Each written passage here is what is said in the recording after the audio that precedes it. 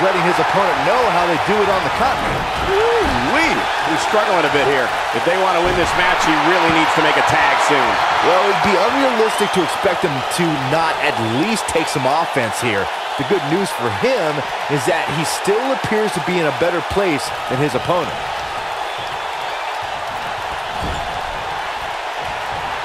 Oh, Buzz just barely got out of